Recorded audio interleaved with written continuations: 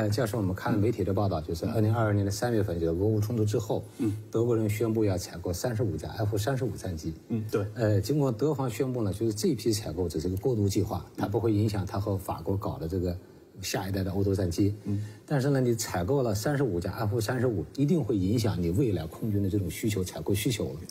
那您怎么来评价？就是德国人采购三十五架 F 三十五，对他搞的下一代战机项目的带来的影响？嗯嗯。我就我觉得这个，如果说节上没有任何影响是不可能的。嗯嗯嗯。呃，二零二二年的十二月份呢，德国联邦预算委员会的议院啊，预算委员会批准了德国联邦德空军的这个申请购买新战斗机的申请。嗯嗯。批准了一百亿欧元购买三十五架 F 三十五 A 战斗机。这里面有几个方面的原因。本身德国本身就对他自己原有的狂风。这个战斗机呢，已经老旧不堪了，本身就想更新。还有一个原因呢，就是德国空军承担了一部分北约空军的投掷核弹的任务。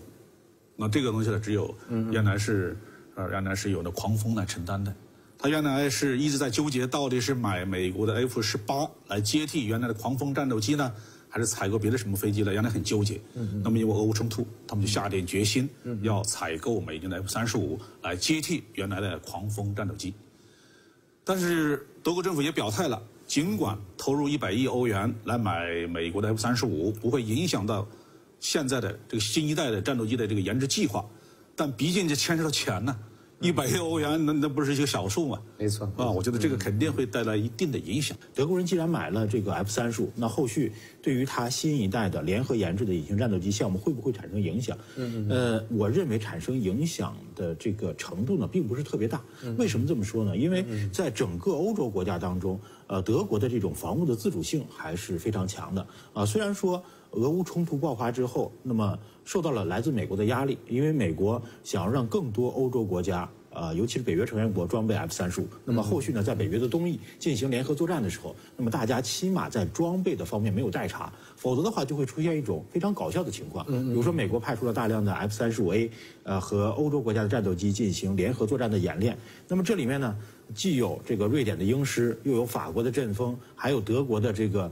台风或者是这个狂风和 F 三十五进行编队作战，那这个 F 三十五这个隐身性就没法体现了。你都是联合编队的话，那其他的非隐形战斗机都暴露了目标，那你这个 F 三十五和他们这个一起作战，那你相当于这个隐形的这个斗篷和外衣就白穿了啊。所以呢，他是希望有越来越多的这个北约成员国尽可能多装备 F 三十五，那么在北约的东翼进行部署。尤其是在波罗的海三国进行轮换部署的时候，保证它联合空中作战体系的一个整体的隐蔽性。那么和美国人进行这种空中的联合作战，不能是我隐身你不隐身。那么这样的话呢，相关的战术战法的制定就会面临很大的困难。所以呢，未来德国的这些 F 三十五。很可能不是在德国本土进行部署，可能会参与北约的一些联合空中警戒和巡逻的这个机制啊，比如说在波罗的海周边，或者说在呃这个东欧国家啊进行这个部署的时候，可以和呃这种同行的北约成员国的这个战机联合的去执行这个作战任务。